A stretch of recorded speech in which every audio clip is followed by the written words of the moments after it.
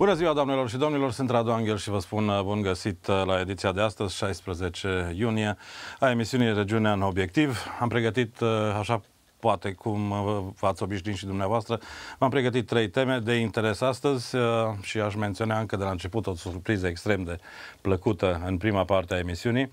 N-am să vă dau încă numele invitatului, am să vă spun doar că în 11 iunie, iată, la 42 de ani și 5 zile, diferență față de acest moment, câștiga cel mai important turneu de tenis pe zgură din lume și primul turneu de mare șlem pentru tenis, tenisul feminin românesc. Despre cine este vorba? Imediat.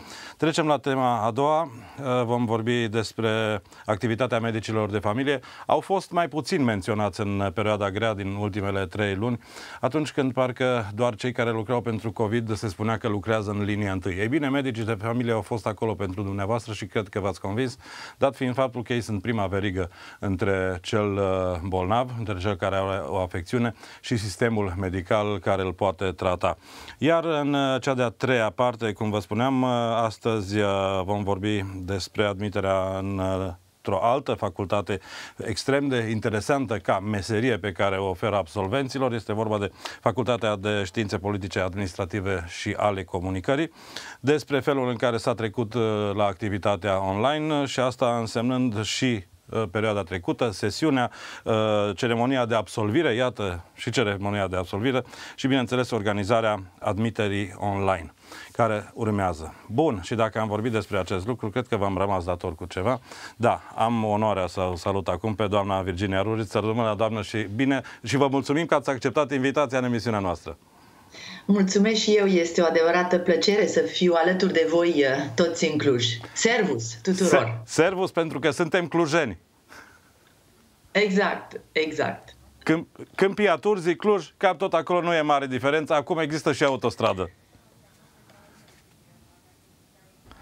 Da, cred că avem uh, probleme tehnice. Am să-i rog pe colegii mei să mă ajute uh, cu această problemă care se întâmplă. E normal să se întâmple.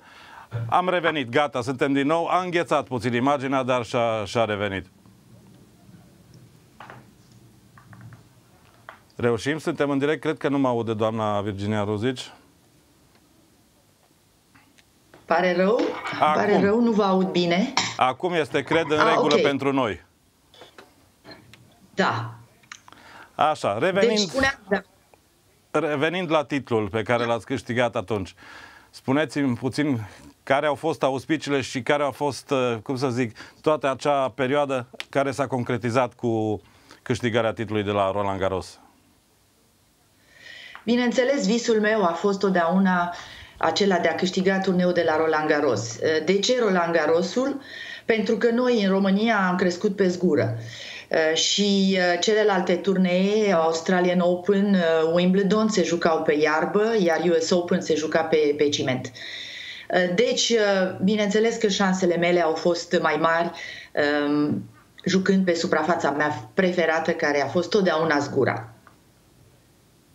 Da, și atunci, uh, cum se juca atunci? Nu sunt, recunosc, nu sunt un specialist al tenisului, dar am văzut astăzi materialele pe care le-a pregătit colegul meu, Alinger Mărean, și am văzut o diferență între jocul de atunci uh, în tenisul feminin și jocul de acum. A, nu numai în tenisul feminin. Sigur că uh, da. Tenisul s-a schimbat, a evoluat, la fel cum au evoluat și s-au schimbat și toate celelalte sporturi. Dacă vă uitați la patinajul artistic de acum 40 uh, de ani, când eu mă uitam uh, cu multă plăcere, uh, fiindcă îmi plăcea acest sport, Catarina Vit făcea două triple, Uh, și două duble uh, ca salturi, iar în ziua de astăzi uh, este o evoluție absolut incredibilă cu bărbații care fac două, trei quadruple în timpul unei evoluții. Deci, la fel și în, și în fotbal. Dacă te uiți la fizicul jucătorilor de fotbal, sunt mult mai puternici, sunt mult mai înalți, o, o pregătire fizică de excepție Eh, și același lucru uh, s-a întâmplat și în tenis. Uh, încet, încet, metodele de antrenament uh, au evoluat spre un sport mult mai fizic. Cum era atunci condiția sportivului? Pentru că, se știe, era o perioadă grea.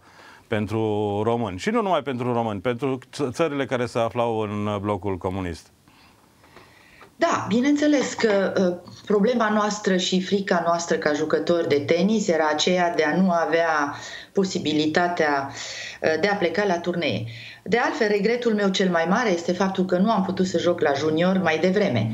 Uh, singura, prima dată când am jucat la Roland Garros la junior aveam deja 18 ani și eram intimidată de uh, celelalte jucătoare, mai ales a jucătoarele americance, cum era Chris Evert sau Yvonne Goulagong și altele, Margaret Court, care, pe care le vedeam la televizor din când în când, deși nu aveam multe imagini, doar Wimbledon nu se transmitea la da. televiziune uh, pe vremea mea. Uh, și deci în momentul în care le-am cunoscut și le-am înfruntat pe un teren de tenis, pentru mine erau niște legende și aveam mult prea mult respect. Deci acesta a fost unul dintre regretele mele, uh, iar presiunea pe care o aveam era uh, în același timp uh, frica de a nu avea viza la timp. Exact. Sinceră să fiu, um, aveam circuitul pe zgură, care începea cu turneul de la Hamburg, după aceea urma Roma, urma Roland Garros și Wimbledon. Primul lucru când ajungeam la Hamburg, prima Da. Avem din nou probleme cu legătura. în Italia. Așa. Cum ajungeam la Roma? Cum ajungeam la Roma, primul lucru era grija să mă duc să am viza pentru Franța și așa mai departe. Deci, aceste uh, probleme, efectiv, au fost niște dificultăți nici pe mine, nici pe Ilie Năstase sau Ion Țiriac, să avem uh, un anumit succes și să ajungem la un anumit nivel uh, um, pe plan internațional. Tocmai aici e, e problema și exact ce a spus dumneavoastră. Era foarte greu să ieși. Am mai vorbit cu sportivi uh, și care îmi spuneau la vremea respectivă trebuia, trebuia să ai neapărat o cunoștință, o pilă undeva acolo în aparatul de sus care să înțeleagă faptul că nu ceri o viză ca să te duci ca și turist să-ți cumperi tot felul de lucruri care oricum la noi nu existau, ci te duci să faci performanță pentru țară. Tu, uh, fiecare a reprezentat dintre sportivii români, a reprezentat România. Cu siguranță, uh, dorința mea cea mai mare era aceea de a juca în competiție, având o pasiune deosebită pentru tenis de la vârsta de 8 ani. Um, efectiv pot să vă spun că la un moment am avut această mare șansă, noi tenismenii, de a avea pe domnul general Stan Nicolae ca președinte al Federației de Tenis. Și dânsul, uh, iubind sportivii și iubind oamenii în general, a înțeles că noi, tenismenii, aveam nevoie să, să ieșim, să circulăm, să jucăm turnee multe afară. Uh, dânsul ne-a permis aceste probleme tehnice, cu siguranță, stimați spectatori, sunt cauzate și datorită și uh, din cauza faptului că doamna Rudic se află la Paris, iar uh, legătura e normal să fie câteodată să ne mai joace feste la această oră de maxim trafic de internet. Bun, gata, am revenit, doamna Ruzice, în regulă legătura cu dumneavoastră. Nu știu dacă v-ați încheiat fraza, pentru că eram atent să le explic telespectatorilor am faptul... Încheiat. Așa. Am încheiat. Haideți să vorbim puțin despre ceea ce a însemnat uh, finala, practic, încununarea muncii dumneavoastră, îi spun eu, poate greșesc, poate mă veți corecta, uh, cea de la Roland Garros din 1978, când a fost o treabă inedită. Adversarul dumneavoastră era Partenera mea de dublu. Exact, la asta, la asta mă refeream. Deci cuno- vă cunoșteați reciproc uh, jocul și totuși scorul a fost un extrem de clar, 6-2, 6-2 pentru dumneavoastră. Da, se întâmplă. Se întâmplă. Am avut și un scor de 6-0, 6-3 în finală pentru mine, în final în 1980, deci uneori exact. există și un decalaj în scorul respectiv.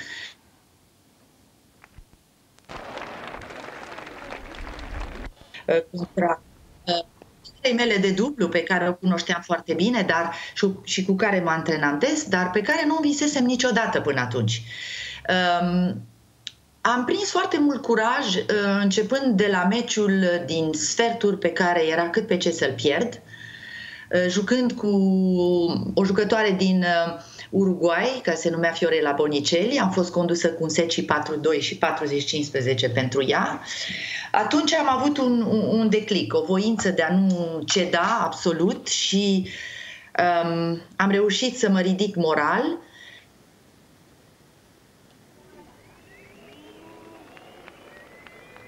Rămânem tot câștiga acel meci și să revin în meci și să câștig. De atunci am prins foarte multă încredere și am putut să merg până la capăt, așa cum știți, învingând-o pe Mima 6-2-6-2. Da, și Publicul reuși. francez. A. Aceste imagini sunt din 1980, când am pierdut cu Chris Evert în finală. Da. Nu știu dacă mă auzi. Vă aud, e în regulă și vă ascult în același timp. Aceste imagini le am. E, le avem noi. Mă bucur să Mă bucur să le văd. Și cu prima ocazie vi le putem și transmite, mai ales dacă nu, dacă nu le aveți. Înțeleg că lovitura dumneavoastră, să spun, sau ceea ce vă reprezenta în tenis, în tenis era lovitura de mână dreaptă. După ce restabilim legătura... Dar avea... regret că există aceste Da, e normal într-un fel să existe aceste întreruperi, spuneam mai devreme, dată, datorită orei și distanței dintre noi. Dar, uh, repet, uh, întrebarea și să-mi spuneți dacă eu așa știu, uh, ceea ce vă caracteriza pe dumneavoastră în tenis era lovitura de mână dreaptă. Da, avea un, un tenis ofensiv, agresiv. Să nu credeți că pe vremea noastră nu se juca și agresiv. Um, e adevărat că se juca mai mult servici volei. Um, în zilele de astăzi, poate mai ales în tenisul feminin, dar chiar și în tenisul masculin se joacă mai puțin la fileu. Exact, asta voiam uh, să spun. Exact Acesta este iarăși o, o anumită evoluție în sportul nostru, probabil pentru că în retur și în aproximativ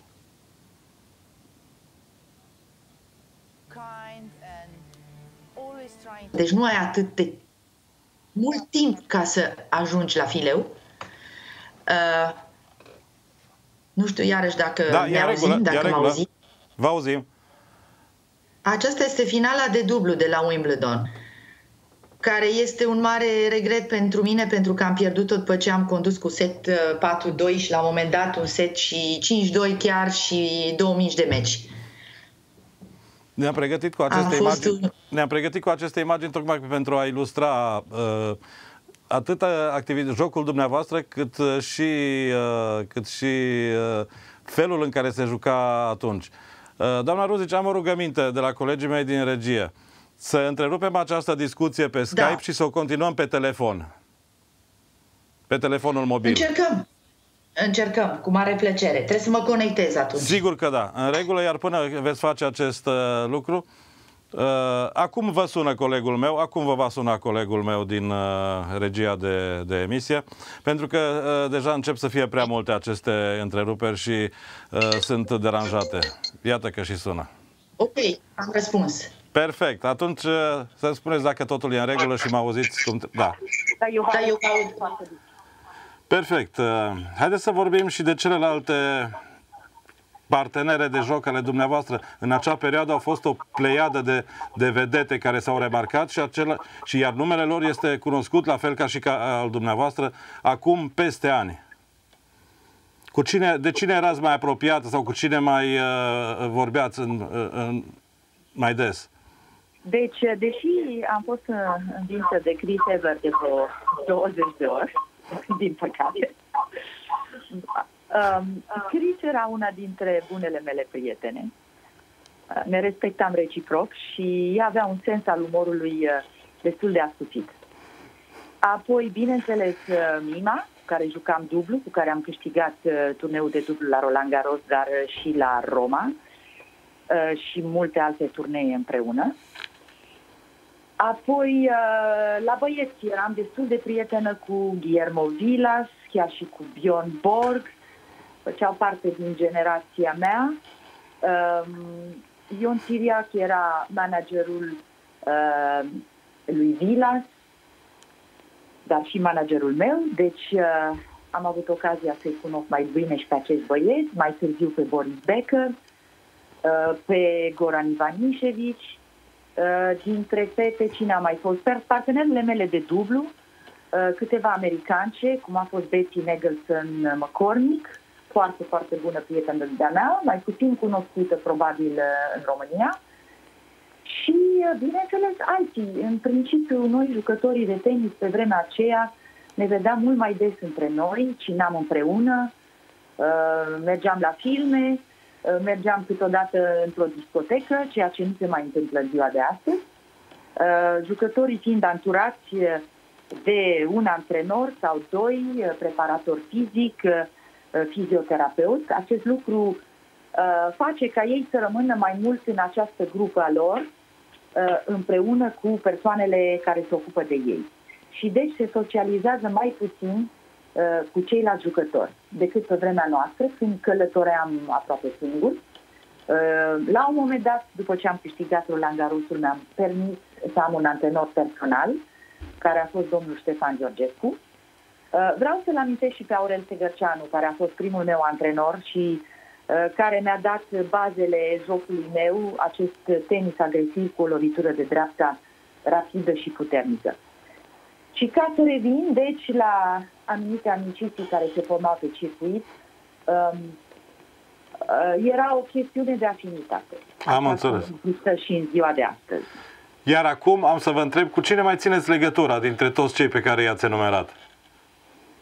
Um, țin legătura, bineînțeles, foarte mult cu Mima Iaușoveț. Uh, fiul ei, cât și fica mea, se cunosc de când erau mici și sunt foarte buni prieteni.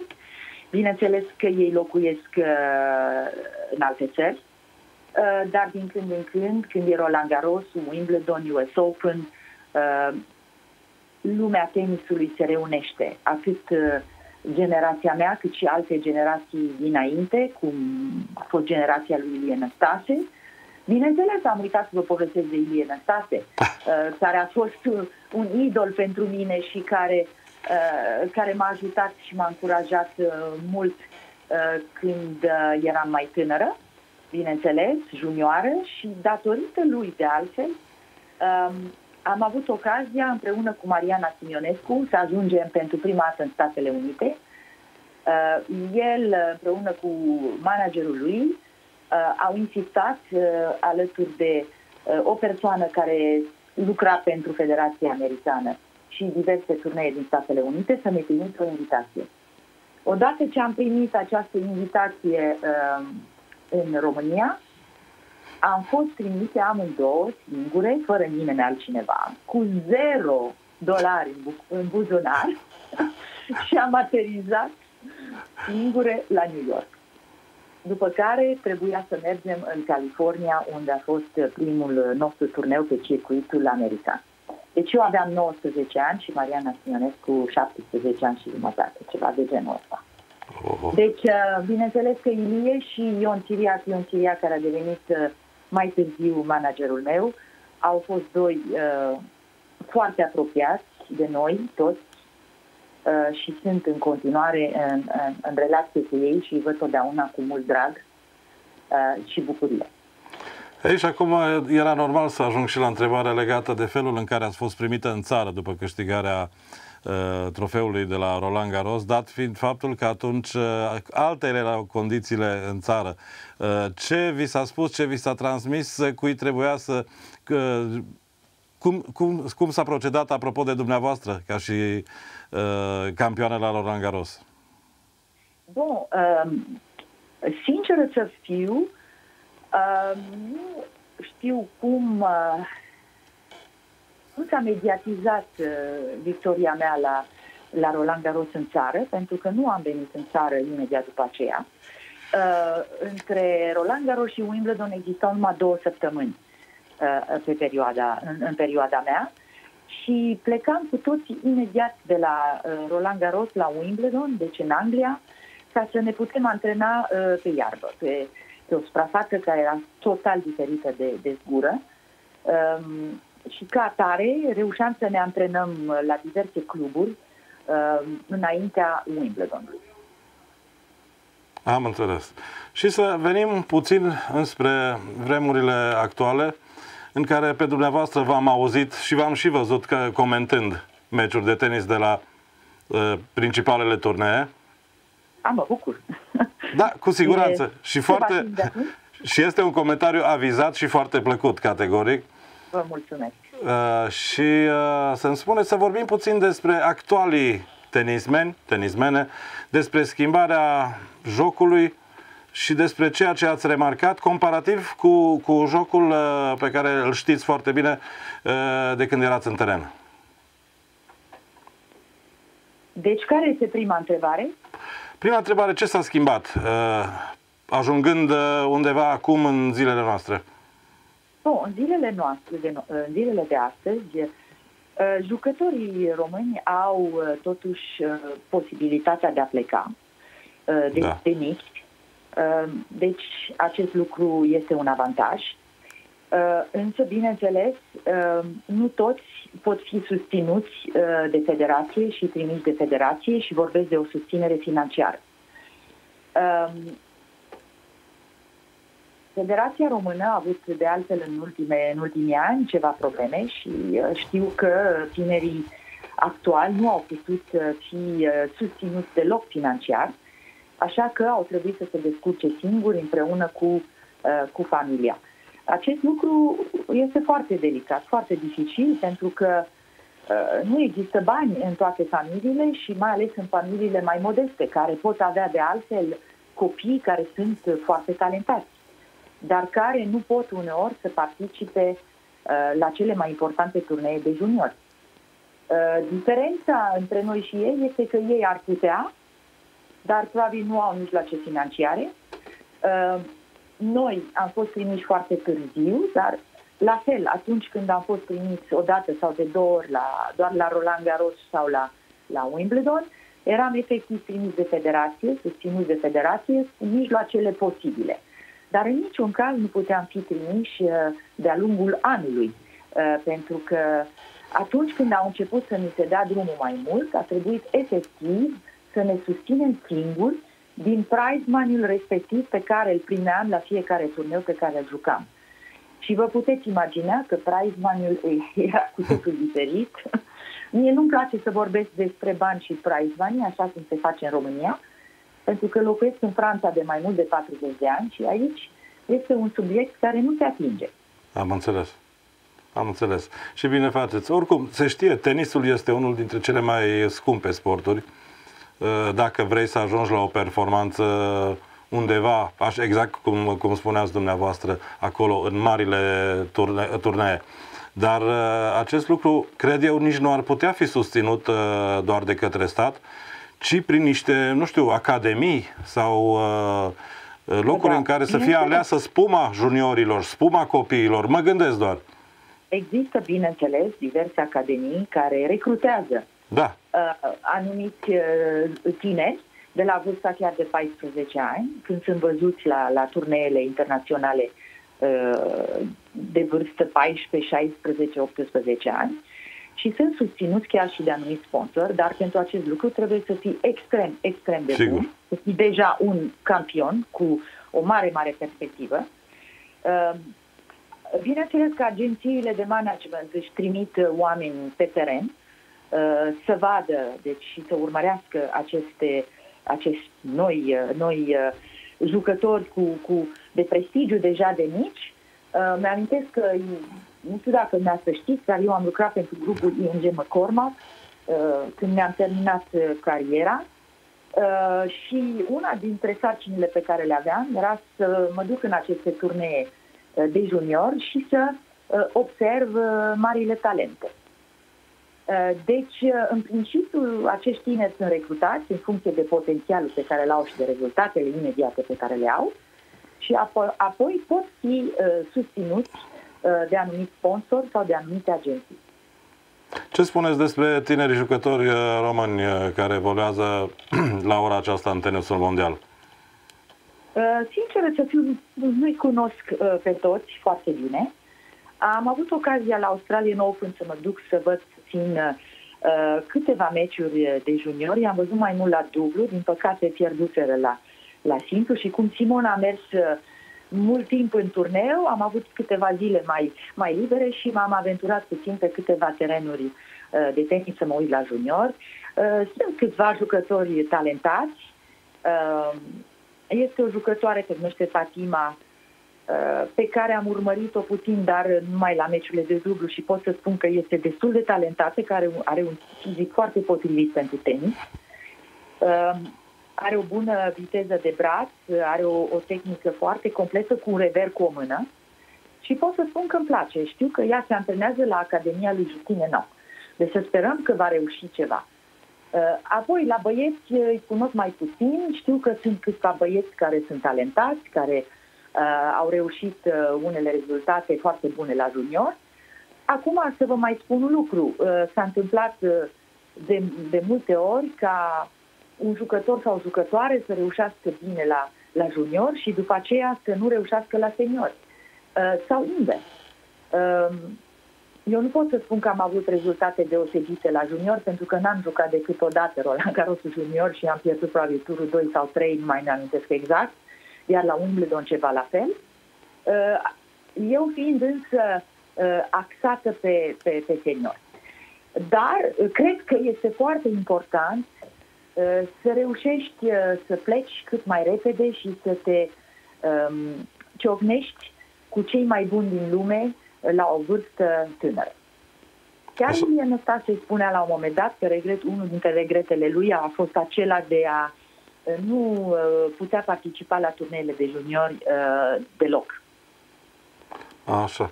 Și pentru că mai avem aproximativ 4 minute, nu putem să nu ating subiectul Simona Halep, mai ales că sunteți manager ce se întâmplă când se reia odată și odată primul turneu? Eu personal sper cât mai repede. Așteptăm cu nerăbdare, cred că astăzi va fi o decizie. Uh, se pare că US Open nu dorește foarte tare. Uh, face totul ca condițiile uh, să fie cât de sigure și cât de bune posibile uh, în circunstanțele actuale. Uh, cred că 99% vor face acest turneu, Aha. însă nu pot să vă spun încă sigur, așteptăm decizia lor uh, definitivă. Uh, au trebuit să pună un program foarte drastic în ceea ce privesc măsurile de securitate și sanitare, care, bineînțeles, sunt delicate pentru jucători, dar pot să vă spun că circuitul de golf PGA are început deja, având condiții și mai drastice decât cele propuse. Bineînțeles, se joacă numai Statele Unite da. și uh, în tenis se călătorește mai mult. Uh, deci, uh, acest lucru este probabil puțin, uh, puțin mai delicat. Să sperăm însă că lucrurile se ameliorează până în septembrie, când US Open va avea loc. Acum circuitul american începe cu Washington la începutul lui august, după aceea Cincinnati și US Open. După care sunt programate turnee, eventual, vă spun deocamdată, sigur, sigur. Uh, urmează după, imediat după US Open o, o trecere pe zgură directă cu turneul de la Madrid, Roma și Roland Garros. Apoi am văzut că și Beijing ar fi pe listă. Mai mult, nu știu, nu pot să vă spun. Personal sper, cred că jucătorii au nevoie și sunt uh, nerăbdători să reînceapă competiția. Sunt cu toții mari competitori, obișnuiți cu competiția și doar așa, antrenându-te, jucând câteva meciuri de demonstrative, nu este același lucru ca uh, un adevărat turneu de Grand Slam sau cele mai mari turnee de pe circuit. Uh, vedem ce se întâmplă, vedem care este situația la, la New York la momentul respectiv pentru uh, cazul Simonei, pentru că trebuie să ia o decizie. Uh, cred însă că uh, Roland Garros se va menține.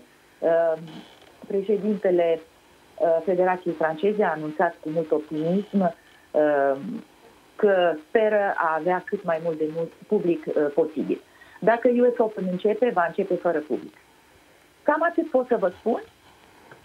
Iar eu vă mulțumesc foarte mult pentru prezența în emisiunea noastră. A fost o plăcere eu. să dialoghez cu dumneavoastră și sunt convins că și telespectatorii s-au bucurat uh, revăzându-vă. Și eu vă spun uh, la revedere Clujul, pe care îl iubesc, fiindcă tatăl meu a fost născut în Cluj. Și eu vă mulțumesc foarte, foarte mult pentru această invitație plăcută. Numai bine tuturor! Numai bine, vă mulțumim încă o dată! Stimați respectatori, aceasta a fost surpriza emisiunii, dar vă spuneam în continuare, vorbim despre activitatea medicilor de familie. Uh, asta în direct, dar înainte vom vedea un reportaj realizat de colegii mei de la știri. Patru pacienți de la Institutul Inimii Nicolae Stăncioi au fost diagnosticați cu noul tip de coronavirus.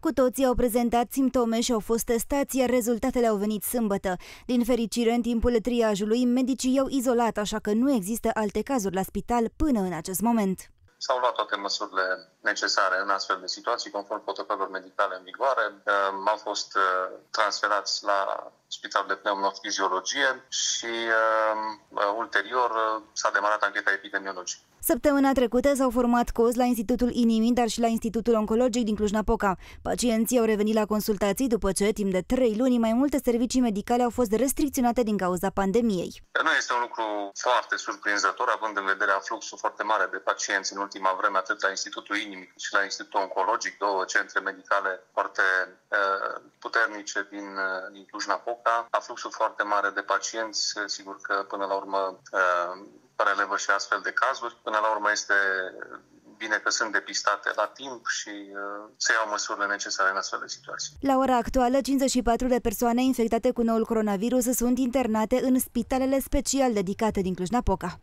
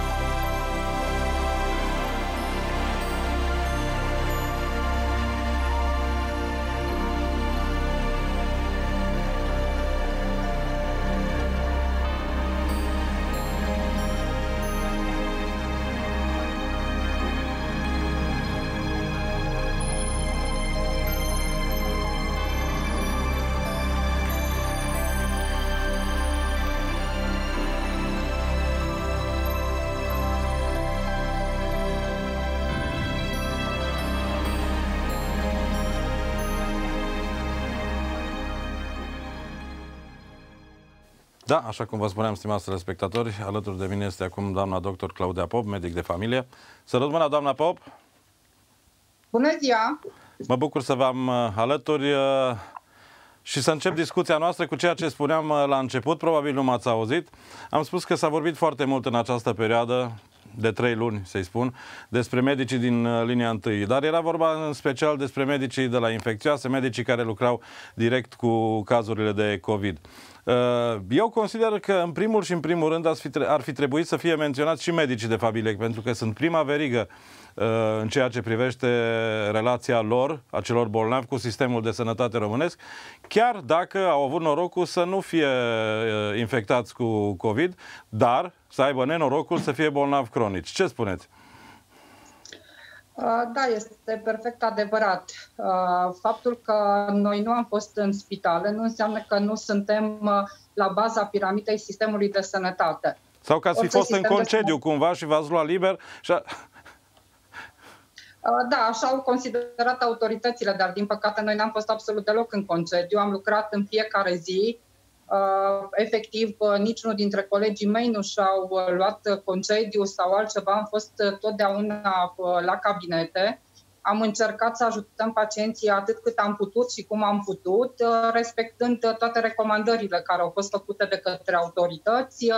Am încercat să sprijinim pacienții pentru că mulți dintre ei au s-au adaptat foarte greu ideii de a sta în casă, de a nu putea exact. să fie în cabinet, de a-și pune problemele direct medicului am răspuns telefoanelor și am încercat să uh, fim tot timpul în sprijinul pacientului. Și să știți că am avut colegi care efectiv au consultat în uh, cabinete uh, pacienți cu suspiciune de infecție cu SARS-CoV-2. Inclusiv eu am avut astfel de situații în care a fost nevoie să îmbrac echipamentul de protecție pentru a mă asigura pe mine și pacientul și familia mea și restul membrilor din echipa mea că totul va fi ok nu e ușor să îmbrați acel echipament, să consulți un pacient și ulterior tot echipamentul să-l îndepărtezi. Sunt niște Așa costuri este. pe care a trebuit să le suportăm fiecare dintre cabinete din uh, cheltuiala proprie. Și asta iarăși nu mi se pare normal.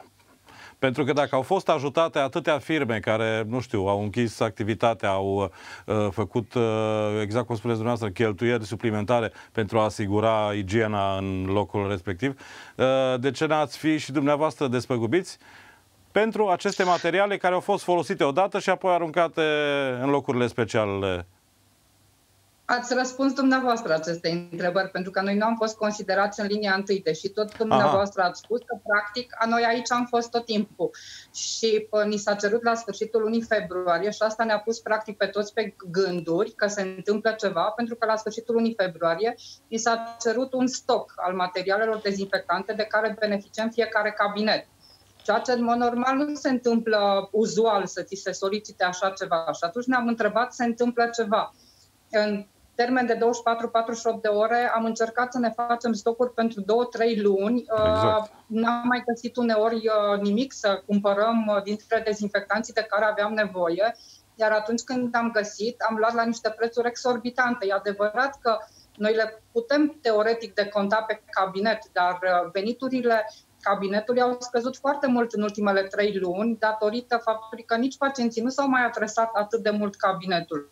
Fie din teamă, fie din uh, uh, faptul că autoritățile uh, au impus anumite restricții și în aceste condiții, deși autoritățile ne-au permis să decontăm o consultații pe oră în loc de patru, cum era înainte în contractul cu Casa de Asigurări de Sănătate, mulți dintre noi de-abia am reușit să decontăm cele patru consultații și uh, ei spun că ne-au dat posibilitatea să avem da. veniturile da. păstrate, dar acest lucru nu s-a putut întâmpla. Eu personal am avut facturile mult pe minus comparativ cu lunile precedente.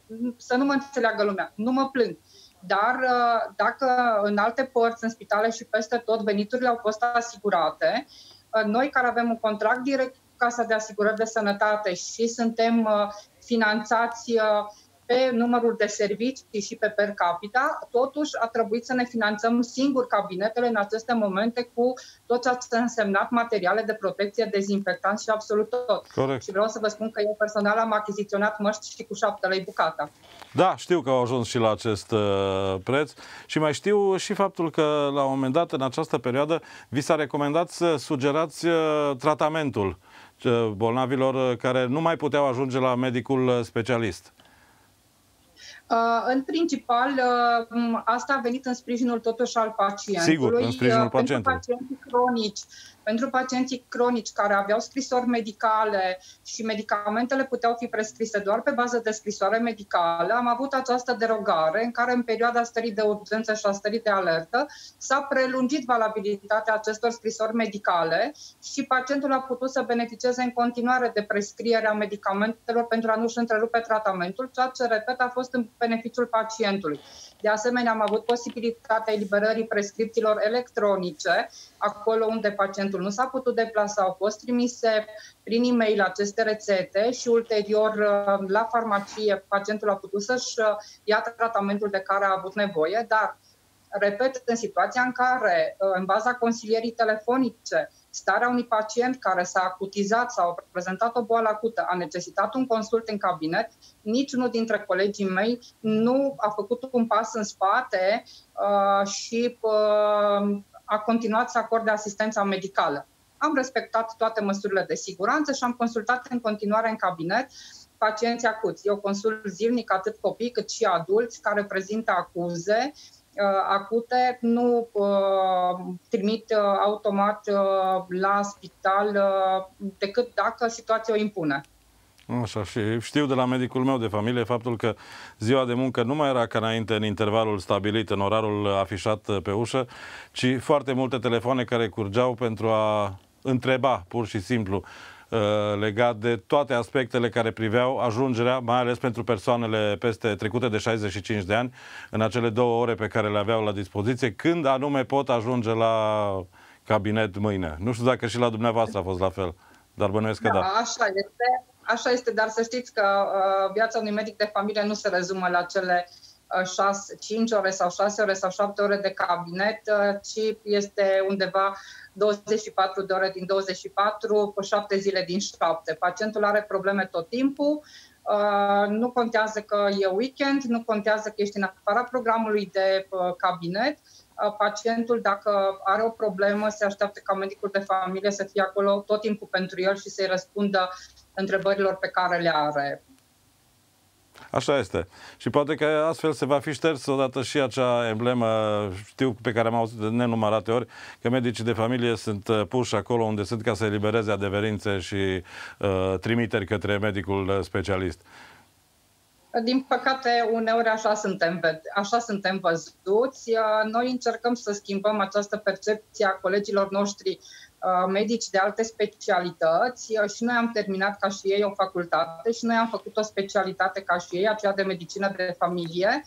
Uh, suntem specialiști și unii și alții. Noi trebuie să integrăm practic Uh, toată patologia pacientului, să privim pacientul ca și pe un întreg și chiar dacă uneori um, starea pacientului depășește competențele pregătirii noastre și noi îl uh, îndrumăm spre un coleg de o altă specialitate, în final, când pacientul revine la noi cu scrisorile medicale, noi va trebui să integrăm toate documentele exact. și absolut tot ce el are în restul patologiilor pe care le are, pentru că de multe ori colegul cardiolog se ocupă doar de partea de cardiologie, da. colegul reumatolog doar de partea de reumatologie, iar noi va trebui cumva să vedem în ansamblu dacă lucrurile se potrivesc, știți? Categoric, așa este. Vă mulțumesc Sunt foarte mult, doamna.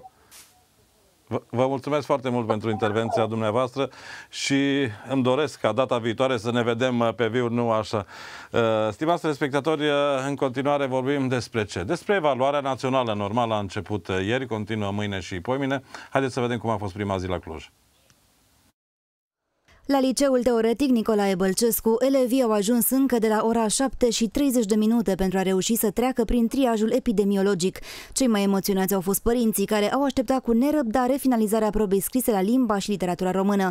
Unii dintre ei consideră că orele organizate online în acest semestru au fost binevenite pentru copii. Faptul că s-au pregătit online, eu zic că i-a ajutat nu sunt o generație, ca și generația noastră, foarte repede se obișnuiesc cu tehnologia. Pregătirile au mers, au avut simulări cu masca pe față online. Deci pentru ei, poate că în anumite situații chiar i-a ajutat să se exprime mai bine și să nu simtă presiunea clasei sau presiunea profesorului ca și prezență fizică. Alți părinți consideră însă că pandemia a creat o pauză care a afectat parcursul școlar al elevilor. Legat de pandemie, a fost probabil că toată lumea spune că a fost un avantaj, dar eu zic că a fost un dezavantaj pentru copiii care susțin examenele de capacitate și de bacalaureate anul acesta. Au stat două luni acasă, n-au putut veni la școală, n-au putut ține pasul cu învățătura, n-au putut ține pasul cu colegii, cu profesorii. La ieșirea de la proba scrisă, elevii au spus că examenul li s-a părut simplu și că se așteaptă la note mari. A fost destul de ușor, cum ne așteptam, ne-am pregătit, deci așteptăm rezultatele. Sperăm acum să la note cât mai mari, exact, da. La ce vă așteptați? La ce notă? Peste 9-50, să sperăm. Foarte greu ne-am acomodat cu orele online, cel puțin eu. Crezi că dacă ați fi mers la școală și ați fi avut o pregătire tradițională, cum a fost în ceilalți ani, ar fi fost mai bine pentru voi? Uh, nu, pentru că asta ar fi însemnat să facem și celelalte ore, să susținem și alte teze și mai bine a fost așa, că ne-am pregătit numai la mate și la română. Potrivit inspectorului școlar generale, la Cluj nu a fost depistat niciun elev cu temperatură mai mare de 37,3 grade Celsius, iar examenul a decurs în condiții bune. Ne-am bucurat să nu avem uh, niciun incident provocat nici măcar de intemperiile de ieri, deci toate problemele legate de uh, conexiunea la uh, internet, alimentarea cu energie electrică s-au rezolvat, chiar și acolo unde au mai fost uh, anumite probleme, deci nicio disfuncționalitate tehnică și de asemenea N-am avut niciun copil care să înregistreze temperatură și să fie nevoit să-și amâne proba pentru etapa specială din cadrul acestui examen. În județul Cluj sunt 115 centre de examen, iar peste 5.000 de elevi susțin probele în acest an. Pentru prima dată este organizată și o sesiune specială peste două săptămâni pentru candidații care nu se pot prezenta la probe din motive medicale. Da, acum dacă am vorbit uh, despre tinerii care au absolvit 8 uh, clase și încearcă să intre la liceu și cu siguranță vor uh, reuși. Vorbim și despre cei care vor uh, să meargă mai departe spre facultate și uh, spre o facultate care, îmi spune, oferă foarte multe. Alături de mine, doamna conferențiar, dr. Andreea Mogoș, să doamna doamna. Bună ziua, bine v-am găsit! Și mie îmi pare bine să ne vedem uh, chiar și așa. De fiecare dată am spus, prefer invitatul în platou, dar de condițiile actuale nu, nu permit acest lucru. Haideți să vorbim uh, puțin despre ceea ce înseamnă admiterea din acest an. Avem la dispoziție, mă uit eu pe ceas, aproximativ 4 minute, în care să le spuneți celor interesați uh, cam tot ceea ce trebuie să știe spre a veni înspre dumneavoastră. Da, admiterea din acest an, spre deosebire de anii anteriori, se va desfășura în întregime online. Asta înseamnă că, practic, noi nu o să ne întâlnim cu absolvenții, cu cei care doresc să se înscrie la noi la facultate și la universitate în general. Ei își vor depune documentele pe platforma universității, la fel și uh, procesul de confirmare va avea loc tot online. Sigur, sigur. În sensul acesta, uh, facultatea noastră s-a gândit la un sistem în care să-i avem aproape pe Uh, liceeni, ne-am gândit să le oferim informații în timp real, astfel încât am făcut un sistem care se numește FSPAC Alert, uh, și practic ei pot să afle pe un grup uh, de WhatsApp ce anume se întâmplă la noi, când sunt întâlnirile virtuale, când se fac prezentările programelor de studiu de la noi. Deci încercăm să trecem inclusiv partea aceasta de popularizare în zona de online. Da, e și normal având în vedere că în această perioadă cam totul se desfășoară în online. Bănuiesc că tot ce a fost din martie și până acum, totul s-a desfășurat uh, online la dumneavoastră. Așa este. Așa este, a fost o trecere în cazul nostru neapărat foarte abruptă, pentru că noi am folosit platforme de e-learning, noi suntem destul de familiarizați cu această, ah. acest tip de uh, documente care sunt livrate studenților și apoi a intervenit și întâlnirea prin diverse platforme pe care le-au ales fiecare dintre profesori, deci uh, a fost o trecere nu neapărat ușoară, dar uh, s-a întâmplat uh, în, în parametrii buni, aș spune. Ce știți despre sau ce intuiți despre concurența din acest an? Știu că este o facultate care este extrem de cerută, nu doar de absolvenții de liceu, ci și cei, de către cei care în perspectivă își doresc să își aprofundeze situația, imaginea lor da, în general, uh, spre noi au venit destul de mulți absolvenți de liceu. Uh, nu știm în ce fel pandemia o să ne afecteze în acest an, poate temerile legate de deplasarea într-un alt oraș, de tot ce înseamnă expunerea la anumite riscuri care până acum nu, nu au existat, s-ar putea să afecteze alegerile, în primul rând, cred că are părinților de a-și lăsa copiii să studieze într-un alt oraș decât orașul natal atâta vreme cât uh, au posibilitatea în, într-o zonă mult mai apropiată. Și pentru că ați amintit de părinți, haideți să le spuneți acestora, pentru că sunt cei mai apropiați uh, celor care vor veni la dumneavoastră. Cam în ce domeniu te poartă? Poate e prea complicată această denumire a facultății dumneavoastră de științe politice uh, și comunicare, administrativă și comunicare. Cam unde îi duce, unde ar putea să-i ducă pe copiilor? Uh, practic, programele oferite de noi, așa cum ați spus, uh, sunt de o varietate mare. Noi suntem o facultate de științe sociale și programele sunt cam toate interdisciplinare. Sigur că în cazul uh, administrației lucrurile sunt mai clare, e spre, e spre zona de uh, administrație publică, de uh, uh partea de management, uh, mhm. partea de ONG-uri, apoi avem zona de comunicare, de jurnalism, de media digitală, avem științele politice, studiile uh, din zona de sănătate publică. Cred că e un moment uh, interesant în care capătă o altă rezonanță și un alt interes această zonă. Avem un program nou de studii de conflict uh, și cred că încercăm să acoperim cam toate zonele astea cu predare atât în limba română, în limba maghiară, în limba engleză și în limba germană pentru anumite programe de studiu. Deci, practic, absolvenții pot să aibă uh, joburi în domeniul comunicării, în domenii conexe, în zona publică, Uh, în zona de antreprenoriat uh, depinde foarte mult de mindset-ul cu care ei vin și ce își doresc cu adevărat să, să facă în viață. Am înțeles. Vă mulțumesc foarte mult. A fost doamna conferențiar dr. Andreea Mogoș. Se vă oameni buni, ne apropiem de finalul emisiunii, repede, repede mi se spune. Încheiere vă invităm să urmăriți un fragment din seria interviurilor Trianon. Astăzi Ion Drăgan, directorul Arhivelor Naționale ale României în perioada 2012-2018.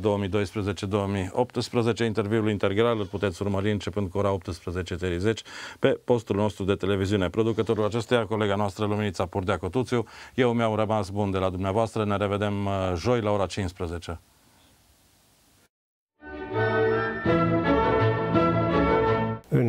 Istoria păcilor care au finalizat conflicte de-a lungul secolelor, a existat o practică din evul mediu, poate chiar mai veche, în care, sau prin care, care prevedea predarea de către uh, un stat, în virtutea tratatului, împreună cu teritoriul locuitorii și alte bunuri, și a instrumentelor de drept și a arhivelor. Deci aceasta era o practică pe care o întâlnim evident în secolul XV-XVI, inclusiv în tratatele de pace de la Paris de la sfârșitul primului război mondial. Acolo se prevedea în, tratate, în toate tratatele practic ceea ce există în articolul 77 de pildă al tratatului de la Trianon între puterile uh, învingătoare și Ungaria și care ne privește în speță în mod uh, direct. Și am să vă citez, cu permisiunea dumneavoastră, am să vă citesc. Ungaria va preda fără întârziere guvernelor aliate și asociate arhivele, registrele, planurile, titlurile de proprietate și documentele de orice fel, aparținând formelor de administrare civile, militare, financiare, judiciare sau de altă natură pe teritoriile cedate. În cazul în care unul din aceste documente, arhive, registre, acte de titlu sau planuri lipsește, acesta va fi restaurat de Ungaria la cererea guvernului aliat sau asociat. În cazul în care arhivele și celelalte citate privesc în mod egal administrațiile din Ungaria și adică și din țările succesoare în același timp, nu pot fi predate fără, și nu pot fi predate fără inconveniente acestor administrații, Ungaria se angajează sub rezerva reciprocității pentru a da acces guvernelor aliate și asociate la documentele în cauză.